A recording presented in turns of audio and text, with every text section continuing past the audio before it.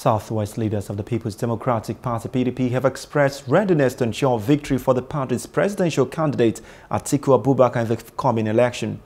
The leaders who came from the six states in the region met in Oshogbo with the Osun State Governor and the zonal coordinating chairman of Atiku Okowa presidential campaign. The leaders also disclosed that the Southwest region is ever determined to ensure victory for his presidential candidate, given his resolve to ensuring restructuring in line with the principle of true federalism. They said, they said Atiku Abubakar stands above other contenders based on his economic blueprint. Today's meeting consequently resolved as follows.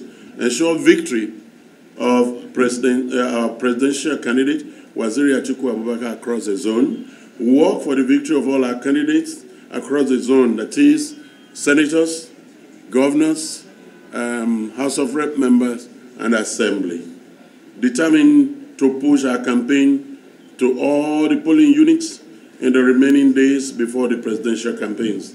Ensure victory of the party in all states of the Southwest.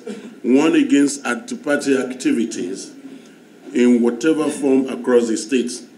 And charge party members nationally to strengthen the cord of mobilization for victory in the uh, national election. The, minute, the, meeting finally affirms as follows that the Southwest region is determined to vote for the People's Democratic Presidential candidate, Alhaji Atiku Abubakar slash Okowa, for several reasons. His agenda for restructuring resonates and aligns with the aspiration of our region. The PDP candidate has the best economic agenda among the contenders to revive Nigeria as a unified and prosperous nation. His experience is needed now to take, the, to take back the country from the mess and chaos APC has plunged all of us into.